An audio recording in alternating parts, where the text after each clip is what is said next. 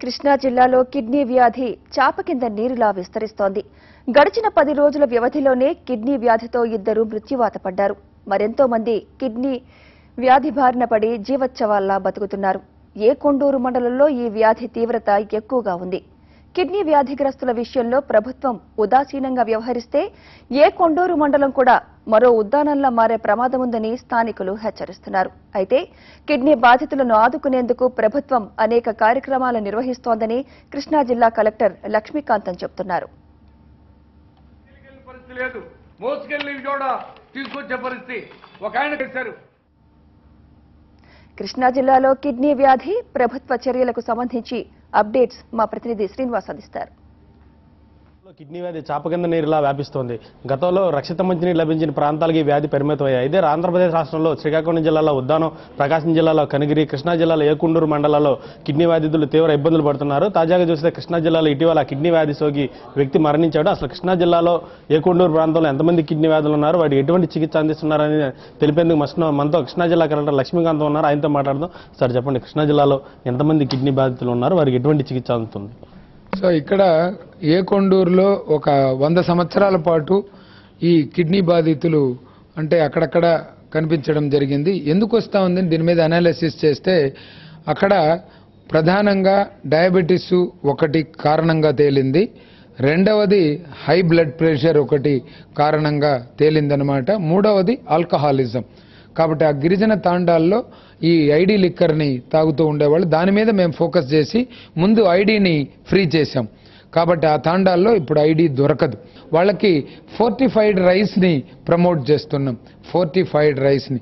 Iron content ఎక్కువ ఉంటుంది.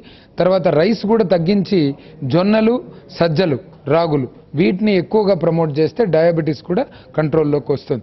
ఇప్పుడు గౌరవనీయులు ముఖ్యమంత్రి గారు మనకు ఒక నైంటీ వన్ క్రోర్స్తో తొమ్మిది వందల హ్యాబిటేషన్లో ఈరోజు ఒక జీవో కూడా విడుదల చేయడం జరిగింది. టోటల్ ట్వెల్వ్ టైప్స్ ఆఫ్ పారామీటర్స్ని రియల్ టైమ్ మానిటరింగ్లో ఆన్లైన్ చేస్తారు. తర్వాత అక్కడ కృష్ణా వాటర్ని మొత్తం ట్రాన్స్పోర్టేషన్ పెట్టాం. అన్ని హ్యాబిటేషన్స్లో వాళ్ళకి ఒక సైకలాజికల్గా ఫీలింగ్ వాటర్ వల్ల వస్తుంది అని. వాటర్ వల్ల కిడ్నీ పేషెంట్ రారు హండ్రెడ్ పర్సెంట్. వాటర్ వల్ల ఫ్లోరోసిస్ మాత్రమే వస్తుంది. ఫ్లోరైడ్ ఎక్కువగా ఉంటాయి పళ్ళు పసుపుగా మారుతాయి బోన్స్లో స్ట్రెంగ్త్ తగ్గుతుంది ఆస్టియోపోరోసిస్. దానికి వాళ్ళు మందులు ఎక్కువ అనాలజెసిక్స్ వాడచ్చు పెయిన్ కిల్లర్స్ దానివల్ల కిడ్నీ పేషెంట్స్ అయ్యే అవకాశాలు ఉన్నాయి. దానికి కూడా మేమేం చేస్తున్నామంటే నిన్నటి నుంచి ఒకటో తారీఖు నుంచి అటుకుల లడ్డు ఇస్తున్నాం.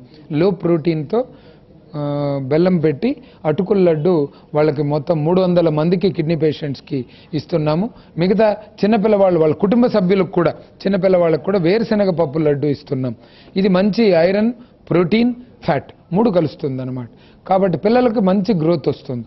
మంచి స్ట్రెంగ్త్ ఉంటుంది అని పదమూడు వందల మందికి రోజు ఆ ప్రాంతం వాళ్ళకి ఇస్తున్నాం. ఇంకా డయాలసిస్ సెంటర్ న్యూజివీడ్లో ఈ నెల ఇరవై ఒకటో తారీఖున గౌరవనీయులు ముఖ్యమంత్రి గారు రాష్ట్రంలో ఉండే పదమూడు డయాలసిస్ కేంద్రాల్లో ఇది కూడా ప్రారంభం అవుతుంది. అక్కడ ఒక అంబులెన్స్ కూడా పెట్టేశాం. ఉచితంగా అంబులెన్స్ పెట్టాము. ఉచితంగా మందులు ఇస్తున్నాం. ఎకోస్పెరిన్ కానీ అదేవిధంగా ఎరిథ్రోపాయిటిన్ ఇంజెక్షన్స్ కూడా మేమే మెడిగా పిహెచ్సిల ద్వారా ఏర్పాటు చేస్తున్నాం. ప్రతి గురువారము ఏ కొండూరులో మెడికల్ క్యాంప్ కండక్ట్ చేస్తున్నాం టెస్టుల కోసం. ప్రతి శుక్రవారము గంపలగూడెంలో కండక్ట్ చేస్తున్నాం. ప్రతి శనివారము తిరువూరులో కండక్ట్ చేస్తున్నాం. ట్రైబల్ వెల్ఫేర్ ద్వారా వాళ్ళకి మంచి ఫుడ్ ఇవ్వాలని టూ పర్సెంట్ ఈఎంఎఫ్లో ఎనభై నాలుగు మందికి మనం పదివేల చొప్పున ఇచ్చామన్నమాట. సిఎంఆర్ఎఫ్ కింద వాళ్ళకి మొత్తం యాభై వేల రూపాయలు కూడా రికమెండ్ చేయడం జరిగింది.